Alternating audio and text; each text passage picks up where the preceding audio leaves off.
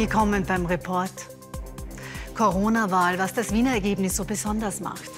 Wiener Clubsterben, wie eine Branche ums Überleben kämpft. Und die Ischgl-Protokolle, die Fehler der Politik.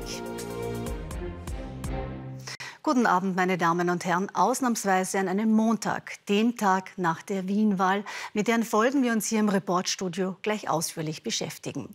Noch werden die Briefwahlstimmen ja ausgezählt, die heuer mehr als 40 Prozent und somit einen Rekordanteil aller abgegebenen Stimmen ausmachen. Was kann sich dadurch noch ändern und was sind die Folgen dieser Wahl auch für die Bundespolitik? Am bittersten und zugleich historisch war ja die Wahlniederlage für die Freiheitlichen mit einem Minus von derzeit mehr als 23 Prozentpunkten. Aber welche Schlüsse zieht die Partei daraus?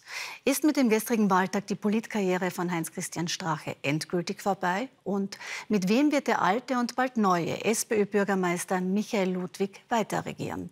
All diesen und noch gleich mehr Fragen gehen für uns jetzt Sophie Christine Hausberger, Eva Maria Kaiser und Martin Pusch nach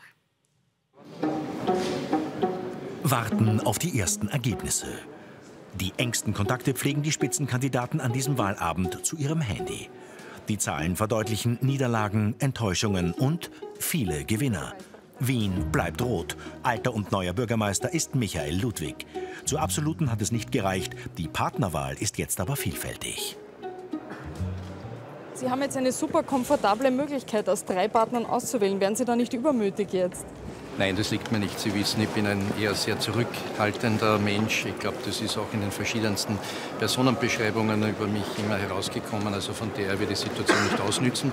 Aber ich werde natürlich genau überlegen, was für die Stadt und die Menschen in unserer Stadt am besten ist. Das Team HC Strache kommt laut dieser Trendprognose auf 4% Das heißt, es ist nicht sicher, ob das Team HC Strache den Einzug in den Gemeinderat schafft. So schaut's aus. Sonntag kurz vor 18 Uhr. Beim Team HC Strache hofft man noch auf ein Wunder. Doch HC will not be back. Und das ist dem Politprofi im Team bereits klar. Es ist vorbei. Hat man da die Strahlkraft eines Heinz-Christian Strache überschätzt? Na, es ist natürlich, es sind sehr viele Umstände eingetreten in diesem Wahlkampf, die nicht vorhersehbar waren. Das Corona ist einmal das Erste, überlagert alles. Du hast keine Stimmung zusammengebracht im Wahlkampf. Es ist keine Themensetzung passiert. Es ist keine Möglichkeit gewesen, dass wir den Strache aus den Negativschlagzeilen hinausbringen, weil wir kein Geld hatten, das Ganze in einen positiven Spin zu drehen. Die Torte wird heute nicht mehr angeschnitten. Na, dann ist das wahrscheinlich zu früh präpariert präpariert worden oder für Dinge, die vielleicht vorgesehen waren. Aber das Ganze ist dann noch ein nettes Fest hier. Aber man wird sich danach überlegen müssen, wie es weitergeht. Die politische Karriere des gefallenen früheren Vizekanzlers muss nicht zwingend zu Ende sein. Ob ihn die mögliche Funktion als Bezirksrat reizt, ist allerdings mehr als fraglich. Im freien Fall ist die Wiener FPÖ. Minus 23 Prozentpunkte, das ist historisch. Scharenweise fliehen frühere FPÖ-Wähler ins Nichtwählerlager. Der Bruderkrieg im rechten Lager fordert seine Opfer. Auch finanzielle. Die einst reichste Landespartei verliert nicht nur 26 Mandate, sondern auch Millionen an Parteienförderung. Ein derartiges Debakel hat Andreas Mölzer nicht erwartet. Köpfe rollen werde es aber keines geben. Weder bei der Wiener Partei noch auf Bundesebene, zumindest vorerst. Erstens gibt es keine Personaldebatte, wo man nicht so blöd sein wird, ne, dass man das jetzt macht, auf Bundesebene meine ich. Zweitens drängt sie keiner auf, keine Alternative. Ne. Es hat diese Zweierführung, die wir jetzt haben, oder Dreierführung, wenn man Heimbuch noch dazu hat, ihre Schwächen. Das ist überhaupt keine Frage, ne, weil gewinnen dort auch Spitzenfiguren. Ne. In diesen äh, medial zugespitzten Wahlkämpfen ist das so. Es hat aber auch Vorzüge, ne, dass also die Schattenseiten der charismatischen Parteiführung, wo einer abhebt, wo einer glaubt, das ist alles sein, das ist alles sein Erfolg, sein Geld, seine Mittel nicht gegeben ist. Drei mögliche Koalitionspartner für die SPÖ bleiben also noch. Der SPÖ-nahe Kommunikationsberater bringt es auf den Punkt. Wer auch immer, er wird es billiger geben müssen. Es kann keiner von denen die Bäume in den Himmel wachsen lassen mit Forderungen, weil es drei Alternativen gibt. Also da hat er eine wirklich tolle Ausgangsposition. Ich traue mir heute in keiner Weise äh, zu sagen, äh, ob das in irgendeine dieser Richtungen gehen wird. Ja. Für so manche war er die Überraschung des Wahlkampfes. Christoph Wiederkehr, Spitzenkandidat der Neos. Also ich gratuliere euch. Jubel in der Parteizentrale. Nach einem Plus von rund 1,7 Prozentpunkten und der fast Verdoppelung der Mandate möchten Neos mitregieren. Prost. Die wahre Bierpartei sind nämlich auch wir. Die Verhandlungen, die liegen jetzt bei Michael Ludwig. Wir haben unsere Themen auf den Tisch gelegt. Man weiß, wofür man steht und wofür wir kämpfen werden. Und sicherlich das ein oder andere Thema wird schwierig. Da muss man schon noch Mut haben, seitens der SPÖ mit uns zu regieren, wie zum Beispiel das Thema Transparenz und Kontrolle. Das ist uns wichtig.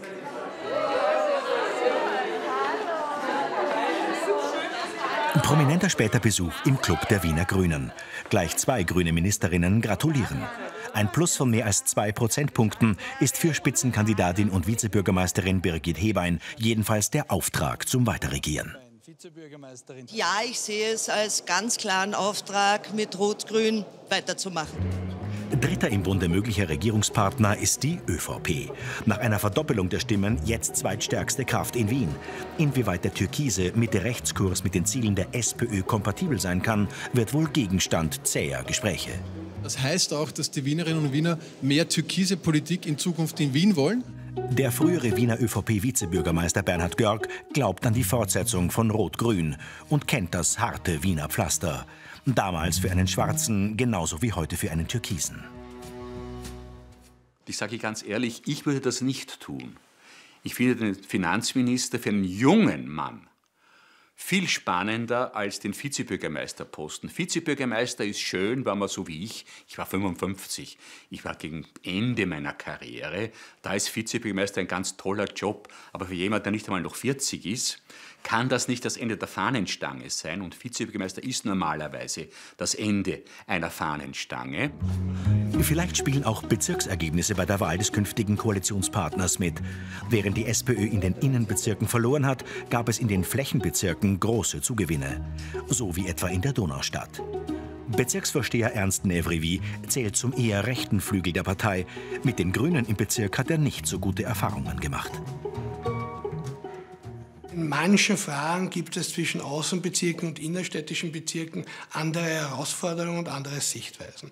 Dieser Pop-up-Radweg bei mir im Bezirk, der ist ein Pfusch, der bringt nichts der war, um Konflikte zwischen Fußgängern und Radfahrerinnen zu lösen, wurde er gemacht und die gibt es jetzt nicht mehr. Es ist keine Badesaison, aber das ist eine Detailfrage, die die Menschen aus meiner Sicht gar nicht so sehr bewegt. Wir haben große Probleme, wir haben große Herausforderungen, die Leute haben Angst, haben sie Arbeit, haben sie einen Job. Kann man die mit den Grünen lösen? Ich denke, mit allen Parteien kann man sie lösen. Neos eine Option? Selbstverständlich. Jeder ist eine Option und auch hier werden wir sehen, wie die Gespräche geführt werden. Und da bin ich zuversichtlich, dass der Bürgermeister die richtigen Entscheidungen und Vorschläge trifft.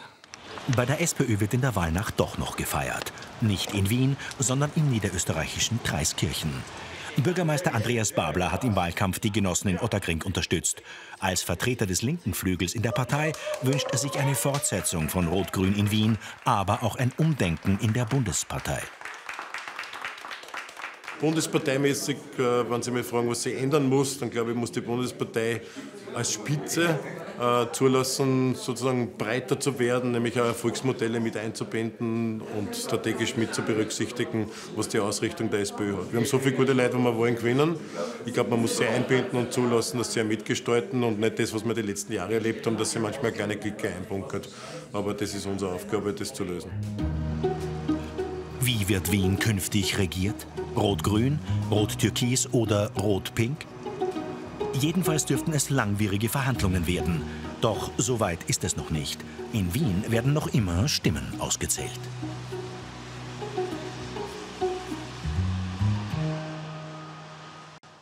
Über die Folgen wird in den Parteien aber schon diskutiert, wenn auch informell. Welche Schlüsse die FPÖ aus der Niederlage zieht, das wollten wir heute mit FPÖ-Obmann Norbert Hofer sowie seinen Stellvertretern Herbert Kickl und Manfred Heimbuchner besprechen. Alle haben uns abgesagt, wie auch ÖVP-Wien-Chef und Finanzminister Gernot Blümel und der zuletzt mit Kritik am Bund nicht zurückhaltende SPÖ-Gesundheitsstadtrat Peter Hacker. Noch will man sich nicht in die Karten schauen lassen. Daher wollen wir die bereits vorliegenden Daten mit unseren Wahlexperten hier analysieren Abend. Guten Abend, Professor Peter Filzmeier. Einen schönen guten Abend. Und ebenfalls guten Abend unserem ORF-Hochrechner Christoph Hofinger von Sora. Schönen Abend. Herr Hofinger, ich würde gerne bei Ihnen beginnen. Äh, wir haben es gerade gehört, die Briefwahlstimmen, die werden noch ausgezählt. Das könnte bis Mittwoch dauern. Äh, aber könnte sich am Ergebnis noch was ändern? Ja, selbstverständlich kann sich am Ergebnis noch was ändern. Wir wussten, dass wir eine große Schwankungsbreite diesmal bei der Briefwahl haben, weil es so viele Stimmen sind. Es liegen informell ganz wenige Bezirke mir vor und da zeigt sich, wenn sich dieser Trend durchzieht, dass die ÖVP vermutlich etwas stärker ist als in der Hochrechnung vom Sonntag. Aber hier müssen wir wirklich warten, bis alle 23 Bezirke da sind vor allem auch warten zu Lasten von welcher anderen Partei. Gestern hat noch Heinz-Christian Strache gehofft, ob er hineinkommt. Ähm, kann er dieses Wunder eigentlich abschreiben, auch nach Ihrer jetzigen Prognose? Also dieses Wunder wird nicht eintreten. Also von den Daten, die mir vorliegen, da ist weit und breit von keinem Wunder etwas zu sehen. Dann kommen wir zur Koalitionsfrage, Herr Professor Filzmeier. Ähm, der Wahlsieger, der alte und auch neue SPÖ-Bürgermeister Michael Ludwig hat, wenn man ihm ganz genau und richtig zugehört hat, mit den Neos kokettiert, auch heute Morgen im Morgenjournal.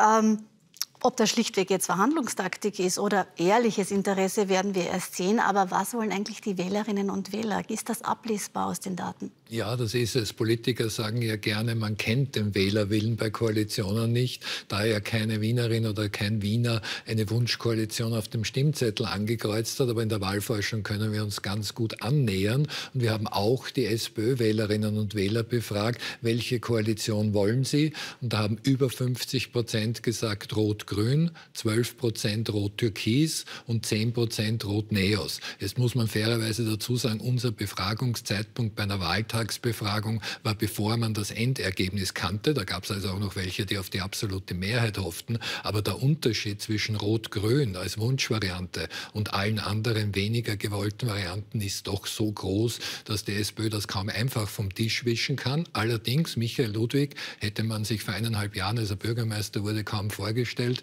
ist in einer Situation, was er will, wird gemacht. Er muss wenig parteiinterne Kompromisse schließen mit Teilorganisationen und auch nicht auf Einflüsse Österreicher hören. Erste kritische Stimme haben wir schon gehört im Beitrag, den Donaustädter Bezirksvorsteher. Äh, dann gibt es die Alternativen, natürlich die NEOS, aber auch die ÖVP. Jetzt haben wir von Herrn Hofinger gehört, die könnte nach Auszahl der Briefwahlstimmen leicht noch zulegen, also noch mehr gewinnen. Ähm, in dieser Doppelrolle, in der sich derzeit Finanzminister und ÖVP, Wien-ÖVP-Chef Blümel befindet. Der hält zum Beispiel in zwei Tagen seine Budgetrede in so einer schweren Krise seit dem Zweiten Weltkrieg. Wie lange kann er diese Rolle eigentlich noch einnehmen? Nicht lange. Wir haben keine gesetzliche Frist für Koalitionsverhandlungen, aber in Pandemiezeiten halte ich das für politisch heikel, wenn diese monatelang oder theoretisch könnten sie auch ein Jahr dauern. Vor allem ist aber Gernot Blümel ja in einer Dreifachrolle, nämlich auch Wien-Parteichef. Und wie soll ich mir das alles vorstellen? Einerseits verhandelt er jetzt als Ex-Spitzenkandidat mit Michael Ludwig über die Koalition. Am nächsten Tag verhandelt er als Finanzminister mit Michael Ludwig beispielsweise über Geld, das im Rahmen von Corona-Hilfen nach Wien fließen soll. Also da wird er entweder schizophren oder keiner kennt sich mehr aus. Und als Parteichef muss er noch einen Kompromiss ausschließen, nämlich dass ein anderer ÖVP-Politiker oder Politikerin Vizebürgermeister wird. Denn das wäre ein zweites Machtzentrum in der Wiener ÖVP und das wird er nicht wollen, denn irgendwann ist diese Person dann mächtiger als er selbst. Als Parteichef hat Gernot Brümel hörbar mit Botschaften geworben um FPÖ-Wähler. Jetzt ist die Rechnung nicht so aufgegangen wie bei der Nationalratswahl vor einem Jahr. Denn 100.000, sogar mehr als 100.000 FPÖ-Wähler, Herr Hofinger, sind ja zu Hause geblieben, die haben gar nicht gewählt. Gibt es dafür eine Erklärung? Ja, da gibt es im Wesentlichen zwei Gründe als Erklärung. Das eine ist, es gab kein Duell um den ersten Platz. Die FPÖ hat sehr, sehr viele Wählerinnen und Wähler mobilisiert vor fünf Jahren mit dieser Aussicht, da könnte es wirklich spannend werden. Und die, die sich nur von diesem Duell mobilisieren lassen haben, die sind diesmal zu Hause geblieben. Für die war die Wahl sozusagen taktisch nicht sehr spannend. Das andere ist, Wählerströme passieren sehr häufig zwischen Parteien, die gemeinsam in der Regierung sind. Gab es ja auch damals unter Schwarz-Blau 1 Kabinett Schüssel sehr, sehr viele Wählerströme zwischen damals noch Schwarz und Blau. Und jetzt ist es aber ganz anders. Türkis sitzt in der Regierung, in der Opposition ist die FPÖ nicht gerade zimperlich äh, mit den ÖVP-Politikern. Das heißt, äh, hier gibt es natürlich bei vielen FPÖ-Wählenden auch eine Entfremdung gegenüber der Partei ÖVP. Und das macht einen Wechsel schwerer. Und deswegen werden sich viele auch entschieden haben, wähle ich diesmal nicht. Welche Rückschlüsse, Herr äh, Professor Wilzmeier, kann man denn da auf die Bundes-FPÖ ziehen? Das war jetzt der Tiefpunkt einer Serie von Niederlagen seit dem Ibiza-Skandal. Aber Rückschlüsse auf den inhaltlichen Kurs. Wir haben zuletzt ja sehr ähm, einen radikalen äh, Kurs gehört, geprägt von Herbert Kickl, vor allem was die Corona-Politik der Regierung anbelangt.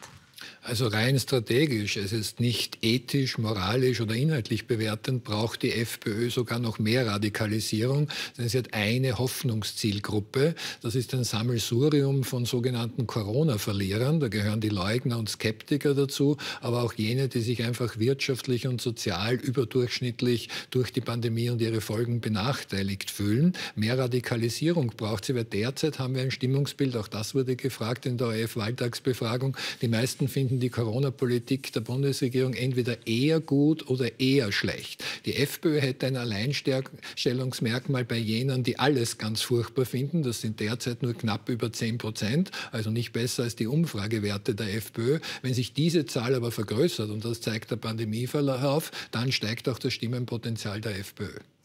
Die Bekämpfung der Pandemie, Herr Hofinger, wird natürlich die Bundesregierung weiterhin fordern. Äh, lässt sich aus diesem Ergebnis, es war ja eben äh, keine bundesweite Wahl, lassen sich da dennoch Rückschlüsse oder Bundestrends ziehen, was jetzt die türkis-grüne Regierungspolitik im Bund betrifft? Ja, nur mit großer Vorsicht. Wir hatten wirklich ein Ausnahmejahr durch Corona. Diese Wahl im Kontext Corona ist jetzt auch nicht eine durchschnittliche Wahl. Was in der Vergangenheit oft passiert ist, wenn eine Regierungspartei stark verliert, was früher typischerweise auch der FPÖ passiert ist bei Landtagswahlen, dann kommt es einerseits zu strategischen Neuausrichtungen manchmal, nicht nur in der Opposition, sondern auch in der Regierung. Und es kann zu Streit in einer Bundesregierung führen. Dafür gibt es momentan keinen Anlass, weil die ÖVP und die Grünen sind ja zufrieden mit ihrem Wiener Wahlergebnis. Äh, letztendlich ist die Bewältigung von Corona eine Herkulesaufgabe, auch in den nächsten sechs Monaten, zwölf Monaten für diese Bundesregierung. Und da spielt jetzt diese Wiener Wahl kaum eine Rolle. Das sind die Sachzwänge, die diese Regierung beschäftigen werden. Aber welche Auswirkungen hatte das Virus auf die Wahlbeteiligung? Herr Professor Filzmeier, die ist massiv gesunken, auch wenn die Briefwahlstimmen noch nicht ausgezählt sind. Die dürfte nicht über 65 Prozent kommen. Das sind dann minus 10 Prozentpunkte im Vergleich zum letzten Mal. Ist das überraschend oder musste man damit rechnen aufgrund der Angst vor dem Virus? Mir ist die Erklärung alles Corona oder was zu einfach. Es ist zwar richtig, dass auch bei den Vorarlberger Gemeinderatswahlen Anfang September, bei der steirischen Gemeinderatswahl allerdings ohne Graz Ende Juni die Wahlbeteiligung jeweils rückläufig war, aber es gab gerade in Wien ein besonders großes Briefwahlangebot, das beworben wurde und fast 400.000 Wahlkarten wurden ja auch ausgegeben. Wir haben eine Situation wie in den frühen 2000er Jahren, da ist auch in Wien 2005 die Wahlbeteiligung auf 60 Prozent zurückgegangen, auch in beispielsweise Tirol Tirol und Vorarlberg stark gesunken, dass die Unzufriedenheit, und das war damals schon der Hauptgrund, mit allen handelnden Parteien steigt. Also nicht etwa, man war persönlich verhindert, zur Wahl zu gehen, sondern fand das Angebot schlecht. Das kann auch als Folge haben, wie wir es erlebt haben, dass jede Partei, die neu ist und irgendwie anders, zumindest eine Einmalchance hat. Das haben wir bei Frank Stronach erlebt. Denn wie immer man ihn politisch beurteilt, dass er irgendwie anders ist, kann man ja nicht bestreiten. Und das hat genügt. Herr Hofing, jetzt war der Anteil der Briefwahlkarten, wir haben Sie angesprochen, rekordverdächtig. Ähm, die Auszählung dauert an und sie könnte, wie wir hören, vielleicht sogar noch bis Mittwoch dauern. Warum gibt es da, jetzt kennen wir das Problem ja schon aus vergangenen Wahlen, wir erinnern uns an die Bundespräsidentschaftswahl, warum geht das einfach nicht schneller? International, andere Länder schaffen das doch auch. Also mit dem bestehenden System ist es verständlich, dass es Zeit braucht. Das ist alle, die dort zählen und das ist ja wirklich eine verantwortungsvolle Tätigkeit auch im Sinne unserer Demokratie. Die müssen dort Masken tragen, die müssen dort Abstandsregeln einhalten. Es werden auch Leute dort abgesagt haben, weil sie sich nicht wohlfühlen oder weil sie einen Halskratzen haben. Also das heißt, das ist schon eine Mammutaufgabe und ich denke, wir sollten hier denen, die hier erzählen, nicht unter den gegebenen Situationen noch mehr Druck machen, sondern geduldig auf das Ergebnis warten. Allerdings, Sie haben recht, es müsste nicht so aufgesetzt sein. Es gibt Bundesländer, die zählen am Wahltag bereits alle Wahlkarten aus. Und das steht auch im Koalitionsübereinkommen der Bundesregierung, dass das in Zukunft so sein soll. Und ich kann mir vorstellen, dass das unsere letzte derartige Wahlkartenprognose war, wo wir dann in der Woche drauf aufs Ergebnis warten. So hoffen wir alle. Herr Hofinger, danke für Ihre Expertise. Ebenfalls danke, Professor Filzmeier. Ja, soweit die Analyse zwei erfahrener Wahlforscher. Aber wie fällt eigentlich der Blick von außen auf diese Wahl aus? Wie wird das Ergebnis in den Bundesländern interpretiert und wie im benachbarten Ausland? Der Schweiz und Deutschland, wo die österreichische Innenpolitik ja regelmäßig für Schlagzeilen sorgt. Julia Ortner hat nachgefragt, was bleibt von dieser außergewöhnlichen Wahl hängen. Die rote Rathausmaschine läuft, mit oder mit etwas weniger Babyelefantenabständen. Und die heimische Politik- und Medienwelt erklärt sich seit vielen Wochen gegenseitig alles rund um die Wienwahl. Man kennt ja dieses Phänomen. Der Report bittet also am Wahlabend auch professionelle Beobachterinnen und Beobachter außerhalb der Wiener Szene um ihren Blick auf die Wiener Verhältnisse. Welches Wort bleibt von diesem Wiener Wahlkampf, von dieser Wiener Wahl? Also für mich war es das Wort Wien-Bashing, das eigentlich von der Stadtregierung, von Herrn Ludwig und auch von seinen Koalitionspartnern immer dann gebraucht wurde, wenn Wien kritisiert wurde. Und ich fand das ein bisschen schade im Vergleich zu letztem Jahr, wo ja die Worte wie Anpatzen oder Schmutzkübelkampagne eigentlich sehr schöne österreichische Worte, die ich da auch neu gelernt habe, vorkamen. Und welches Bild bleibt für Sie? Für mich bleibt das Bild, als Herr Ludwig zusammen mit dem amerikanischen Außenminister Mike Pompeo ein österreichisch-amerikanisches Freundschaftstraum eingeweiht hat, weil das zeigt einfach sehr stark, wie wichtig Wien ist, auch international. Welches Wort bleibt von der Wienwahl? Pop-up. Vom Pop-up-Radweg über den Pop-up-Pool bis zur Pop-up-Partei, das Team HC Strache. Und welches Bild bleibt von dieser Wahl? Das Kipferl, das nicht mit der U-Bahn in die Innenstadt fährt, wie es Gernot Blümel immer wieder zitiert hat. Für mich bleibt wie wahrscheinlich für viele Wien-Bashing auf jeden Fall von dieser Wahl. Und würde ich sagen, Corona-bedingt. Corona-bedingt war die Themenauswahl. Corona-bedingt waren die Wahllokale. Corona-bedingt ist der Ablauf. Corona-bedingt waren die späten Hochrechnungen. Und welches Bild bleibt für Sie von diesem Wahlkampf? Wie Dominik Nepp, der Spitzenkandidat der FPÖ im Land, gefragt wird, was gibt es Positives an Herrn Strache? Er hat kurz überlegt und dann sagte er, Herr Strache ist ein Tierfreund und er hat auch einen Hund. Auch abseits von Corona ist es für den Schweizer Korrespondenten Ivo Meinzen eine spezielle Wahl. Seine erste Wien-Wahl, die er hier erlebt hat. Die deutsche Journalistin Andrea Beer ist seit 2016 im hiesigen ARD-Büro im Einsatz. Und damit ist es auch das erste Mal, dass sie die Wahl des Wiener Stadtparlaments vor Ort analysiert. Und ich glaube, die Analyse ist gar nicht so einfach, die uns da noch ins Haus steht. Denn man kann aus meiner Sicht jetzt nicht sagen, super, die Rechten sind bezwungen. Denn die Wähler und die Themen und die Probleme, die sind ja nach wie vor da. Und ich würde auch nicht unterschätzen, dass die FPÖ auch wieder zurückkommt. Also das Überraschendste für mich war, dass die FPÖ wirklich so schlecht abgeschnitten hat, wie sie jetzt abgeschnitten hat. Da hätte man nicht unbedingt, man hat mit einem Minus natürlich gerechnet. Aber es war schon interessant, dass die Leute offensichtlich wirklich zu Hause geblieben sind und dass diese Desillusionierung äh, aus den Skandalen vom letzten Jahr offensichtlich äh, sehr stark anhält. Die österreichische Politik endet nicht an der Wiener Landesgrenze, auch wenn das manche in Wien vielleicht glauben mögen. Peter Pleikner schreibt als Politikanalyst und Medienberater für einige große Bundesländerzeitungen und arbeitet zwischen Klagenfurt, Innsbruck und Wien. Die Entscheidung in der Bundeshauptstadt sei den Ländern bei aller Distanz natürlich nicht egal. Sie tangiert insofern, weil Sie es ja gewohnt sind, Ihre Bundesnachrichten immer aus Wien zu bekommen. Und die Gleichsetzung von Wien mit dem Bund ist ja nicht etwas, was nur aus der Hauptstadt heraus passiert, sondern auch mit großer Eifersüchtelei und Rivalität aus den anderen Bundesländern in Richtung Wien. Die Corona-Ausnahmesituation ist am Wahlsonntag auch im Rathaus unübersehbar. Kein Jubel in der Fankurve, vieles ist verboten. Man ringt um Distanz. Ein Wahlabend mit gebändigten Emotionen, ähnlich dem Wahlkampf. Was ich absolut vermisst habe, war einfach ein richtiger Wahlkampf. Der hat mir wirklich gefehlt. Es ist gar nicht so richtig Stimmung aufgekommen, muss ich sagen. Und dann fand ich auch, hatte das die Folge, dass es auch gar keine richtigen guten Debatten und Auseinandersetzungen gab. Also die waren immer so ein bisschen steril, ein bisschen langweilig. Alle Sieger, oder zumindest fast alle. SPÖ-Bürgermeister Michael Ludwig kann sich seinen Koalitionspartner und der Grünen-Chefin Birgit Hebein ÖVP-Obmann Gernot Blümel und NEOS-Chef Christoph Wiederkehr bequem auswählen. Die FPÖ unter Dominik Nepp und ihr verlorener Sohn oder ihr Vater Heinz-Christian Strache stehen vor den Trümmern des freiheitlichen Lagers. Welche Bedeutung hat das Wiener Ergebnis denn für die Bundespolitik? Die direkten Auswirkungen dürften sehr gering sein. Es ist nur klar geworden, dass die SPÖ als Gegner für eine schier übermächtig erscheinende ÖVP im Bund noch nicht ausgedient hat, sondern durchaus wieder auferstehen kann.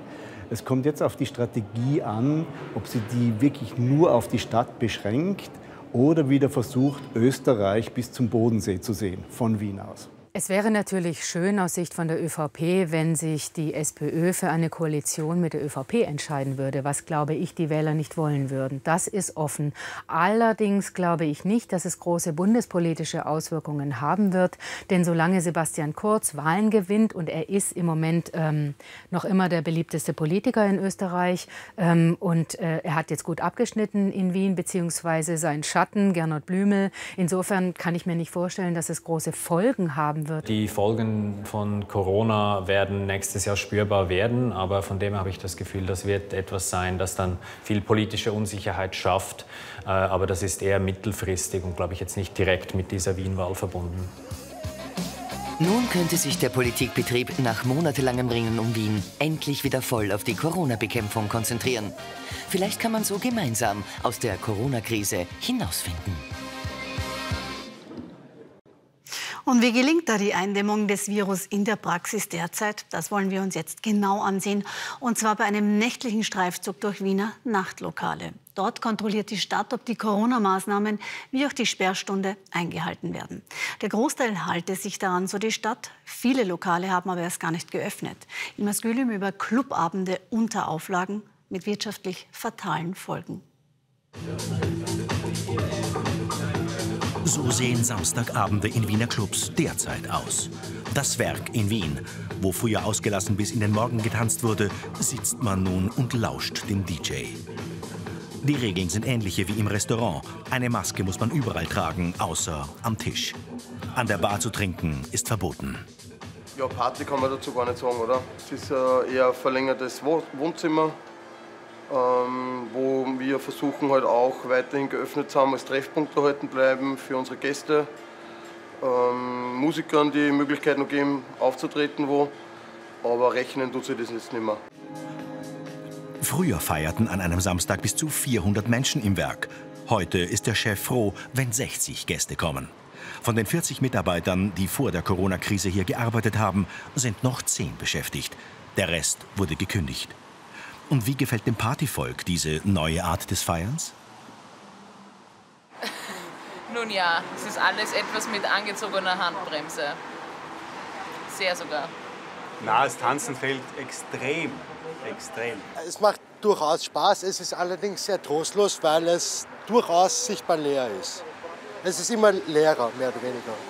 In den Lokalen ist weniger los, auf den Straßen ist weniger los.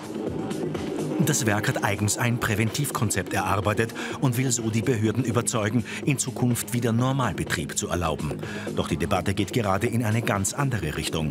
Im Westen Österreichs wurde die Sperrstunde schon auf 22 Uhr vorverlegt. Was würde das für das Werk in Wien bedeuten? Wäre völlig sinnlos. Also um 10 äh, schließen wäre macht überhaupt keinen Sinn mehr. Also wir würden äh, da auch den, das Werk vorübergehend mal schließen, bis da wieder Lockerungen dann stattfinden. Also bis 22 Uhr ist, kann nicht mehr rentabel sein, es ist ja das kaum mehr, also es ist ja das schon nicht mehr rentabel. Ja. Andere, wie das SAS, dürfen als gewerblich angemeldete Diskothek überhaupt erst ab 22 Uhr öffnen. Doch seit März ist dieser Club geschlossen. Alle Mitarbeiter sind gekündigt. Über Wasser hält der Chef den Betrieb mit Krediten, Erspartem und staatlichen Hilfen. Einige Getränke muss er aussortieren, das Ablaufdatum naht. Was passiert mit denen, wenn sie abgelaufen sind? Die schicken wir zurück über unseren Betriebsweg und bekommen dann die Hälfte davon äh, staatlich refundiert. Sperrstunde um 1 Uhr und Gästebeschränkungen. Kostendeckend arbeiten sei da nicht möglich. Wir sind in einer Branche, die eigentlich sehr ähm, arbeitsintensiv an Zahl der Mitarbeiter ist. Das heißt, ich habe äh, sehr schnell sehr hohe Fixkosten, wenn ich aufsperre. Und äh, diese über dann drei bis vier Stunden abzutragen, ist, ist, ist undenkbar. Also das geht sich, kann sich tatsächlich nicht darstellen lassen. Äh, das, wäre, das wäre betriebswirtschaftlicher Suizid. Die Vienna Club Commission schätzt, dass insgesamt drei Viertel der Nachtlokale derzeit geschlossen haben. Stattdessen gab es zuletzt immer wieder illegale Partys. Das mache es jenen Betrieben, die sich an die Auflagen halten, nicht einfacher. Man hat aber auch Verständnis. Ich glaube, es ist einfach in einem Lockdown zu leben, wenn man 240 Quadratmeter Wohnung hat. Aber wenn man als 18-Jähriger noch bei seinen Eltern wohnt, auf 60 Quadratmeter oder 80 Quadratmeter, das ist eine ganz andere Situation. Und auf der anderen Seite auch die Betreiber, die halt momentan einfach anfangen, halt wirklich ihre letzten Reserven aufzubrauchen, damit sie halt irgendwie noch über die Runden kommen, um ihr Unternehmen zu retten und halt sich teilweise auch nicht anders zu helfen wissen. Anders zu helfen weiß ich das Loft. Auch hier wird normalerweise getanzt. Nun setzt man Samstagabends auf Gastronomie und serviert Knödel. Nach dem Essen gibt es ein DJ-Konzert, ebenfalls im Sitzen. Registrieren müssen sich die Gäste mit dem Handy. Haben die Besucher Verständnis für die Corona-Maßnahmen?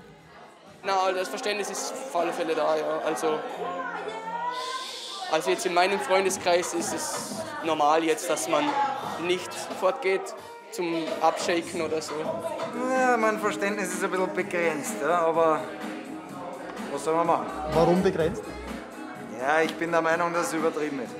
Ich finde es auf jeden Fall übertrieben, habe eigentlich wenig Verständnis dafür, aber ich will natürlich auch keine Probleme machen äh, den Gastronomen und ich möchte auch keine Strafe kriegen, deswegen ja, mache ich es halt. Ja. Die Gagen für die Künstlerinnen und Künstler bekommt das Lokal vom SPÖ-nahen Verein Wiener Kulturservice. Das hilft, aber auch hier wurden 20 der ehemals 26 Mitarbeiter abgebaut. Der Chef blickt dennoch optimistisch in die Zukunft, auch wenn Tanzen nur auf dem Weg zur Bar oder zum Klo erlaubt bleiben dürfte. Es wird sich entwickeln, die Leute werden sich daran gewöhnen und werden halt mit dem leben müssen. Und wenn, wenn man was anhört, was einem gefällt, dann äh, heißt das nicht, dass ich da sitzen muss und quasi Däumchen drehen und ich finde es langweilig, weil deswegen gehe ich nicht hin. Wenn jetzt äh, musikalisch was passiert, das mir Spaß macht, dann äh, kann es im Sitzen wie im Stehen genauso Spaß machen. Auch im Loft weiß man, dass Events im Sitzen nur eine Übergangslösung sein können. Auf Dauer lässt sich so kein Club finanzieren. Viele in der Branche befürchten über den Winter sogar ein Clubsterben. Was hieße das für die Stadt?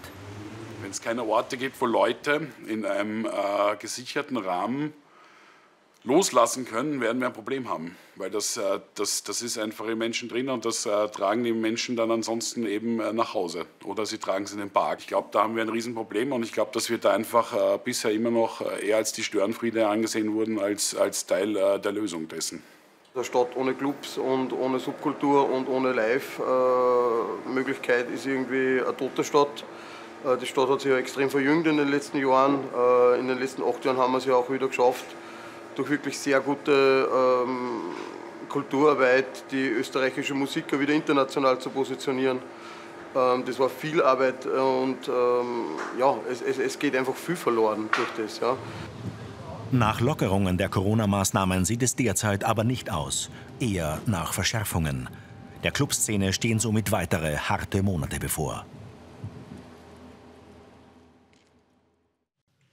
Aber gehen wir ein paar Monate zurück. Da erinnern wir uns alle noch an Partyszenen aus Ischgl, wohl dem Corona-Hotspot im Frühjahr mit fatalen Folgen. Folgen, die auf Fehler der Behörden, aber auch der Politik bis hin zum Bundeskanzler zurückgehen. Zu diesem Urteil kommt heute die Expertenkommission in Innsbruck, die das Tiroler Corona-Krisenmanagement monatelang untersucht hatte. Parallel dazu ermittelt die Staatsanwaltschaft in Tirol, deren Protokolle dem ORF und dem Nachrichtenmagazin Profil vorliegen. Ulla Kammer-Schmidt und Stefan Daubrauer über Anweisungen, die vor Ort nicht ernst genommen wurden und warum auch die Bundesregierung dafür mitverantwortlich ist, dass das Virus nach Europa mit ausreiste. Wegen Ischgl steht Tirol wieder im Rampenlicht. Die Ischgl-Kommission präsentiert ihren lang erwarteten Bericht samt Vorwürfen. Das Gesundheitsministerium etwa hätte einen neuen Pandemieplan nicht veröffentlicht, obwohl die Ansteckung durch Corona bekannt war. Und Tirol hätte die Wintersaison nicht erst am 15., sondern schon am 9. März beenden müssen. Die Infektionszahlen waren am 9. schon zu hoch.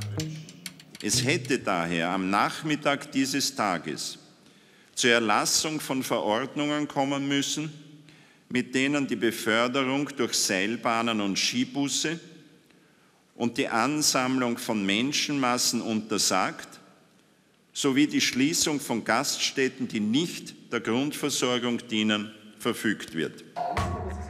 Die Ischgl-Kommission hat wochenlang befragt. Wer hat wann welche Entscheidungen getroffen? ORF und Profil hatten Einblick in die Unterlagen. Eine Kernfrage. Warum ist es zu der überstürzten Quarantäne des Tals am Freitag, dem 13. März gekommen? Tausende Touristen sind bis weit in die Nacht im Stau gestanden. Viele mussten sich Quartiere in Innsbruck suchen. Das war anders geplant. Der Plan war, wir nehmen das Wochenende für die Abreise. Genau. Bauen Checkpoints auf und dann haben wir es halt plötzlich am Freitag. Dann haben wir es am Freitag ohne die entsprechende Verordnung, ohne die logistische Vorbereitung. Und das war eigentlich für uns überraschend, diese 14 Uhr Verkündigung. Wobei, Gott sei Dank, wir haben ja schon alles vorbereitet gehabt. Es war nur das Personal noch nicht da.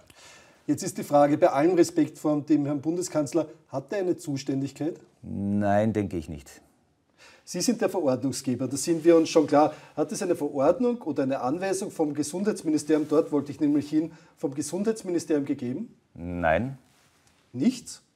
Also das Einzige, was es gegeben hat, war eine Presseerklärung um 14 Uhr am Freitag? Ja, und die hat dann ausgelöst, dass äh, sehr viele Gäste mit den Skischuhen fast noch ins Auto und weg sind. So eine Presseaussendung bewirkt ja sehr viel, überhaupt wenn sie vom Herrn Bundeskanzler kommt. Also das war von Ihnen nicht mehr einzufangen sozusagen? Nein, dann haben wir sehr rasch reagieren müssen. Dann haben wir müssen schauen, dass man die Checkpoints früher hochfährt mit notdürftigem Material, mit notdürftigen rechtlichen Grundlagen. Ich darf das ja hier auch ohne weiteres so sagen, dass die Rechtsgrundlage für eine Zurückweisung am Checkpoint einfach nicht da war. Ein adaptierter Pandemieplan hätte eine Handhabe geboten, die Leute an der Ausreise zu hindern, sagt der Vorsitzende der Ischgl-Kommission. Er kritisiert auch, dass der österreichische Bundeskanzler die Verhängung der Quarantäne überraschend, ohne unmittelbare Zuständigkeit und ohne substanzielle Vorbereitung ankündigte. Es war ein Kommunikationsfehler, dass die Frage der Quarantäne nicht zuvor rechtzeitig unter Einbeziehung der zuständigen Bezirkshauptmannschaft Landeck abgeklärt wurde. Schon früh war klar, dass über Après-Ski das Virus leichtes Spiel in Ischgl hat. Konkret über den infizierten Barkeeper des mittlerweile weltbekannten Kitzloch. Alle Skibars sollten dann mit 10. März per Verordnung dicht machen.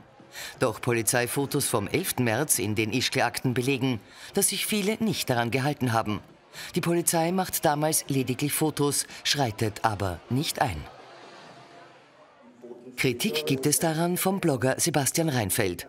Er recherchiert seit Monaten in der Causa. Das ist die Hochsaison eigentlich für Ischgl. Also das ist die Saison, wo, wo man da wirklich das Geld macht, um es mal so auszudrücken. Ähm, und äh, es ist ganz eindeutig so, dass äh, versucht wurde, solange es geht, ähm, den Laden, die Läden dort offen zu halten. Für die Ischgl-Kommission gibt es aber keinen Hinweis, dass die Tourismusindustrie unstatthaft Druck ausgeübt hat. Die Befragungen haben ergeben, dass es keinen Anhaltspunkt dafür gibt, dass Verantwortliche des Landes oder der Bezirkshauptmannschaften Druck von Seiten der Wirtschaft ausgesetzt gewesen wären, bestimmte Anordnungen nicht oder später zu treffen.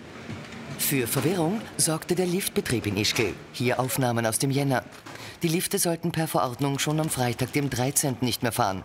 Laut Liftbetreiber sind aber 7300 Skifahrer auf dem Berg gewesen.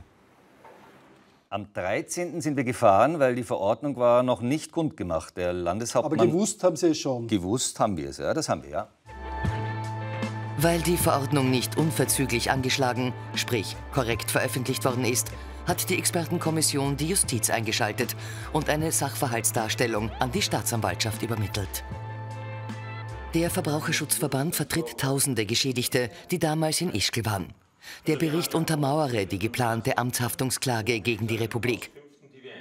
Nun will man eine Entschädigung der Betroffenen, sprich einen Vergleich.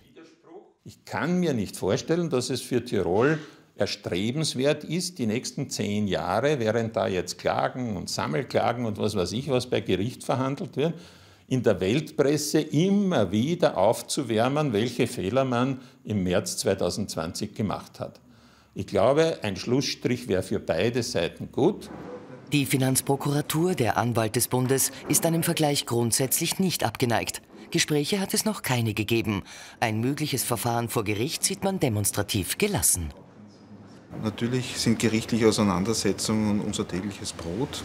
Und wichtig ist hier im Zusammenhang, dass wir nun in einem geordneten Verfahren sind und in diesem geordneten Verfahren ein Beweisverfahren abgewickelt wird, wo wir dann am Ende des Tages mehr wissen, als wir derzeit in den Klagen lesen.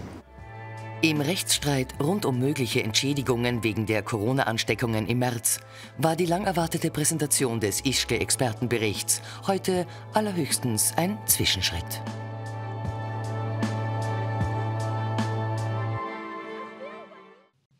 Und Ronald Rohrer, Leiter der Expertenkommission, ist gleich zu Gast bei Armin Wolf in der ZIP 2.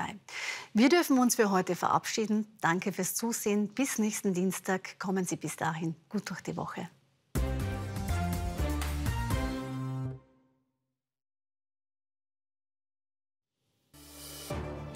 Guten Abend aus dem ZIP-2-Studio. Ich spreche gleich mit dem Vorsitzenden der Ischgl-Untersuchungskommission, die heute ihren hochspannenden und kritischen Bericht vorgelegt hat. In Pflegeheimen gibt es immer mehr Corona-Cluster und warum bei der Wiener Wahl gestern die Nichtwähler die meisten Stimmen hatten. Jetzt gleich.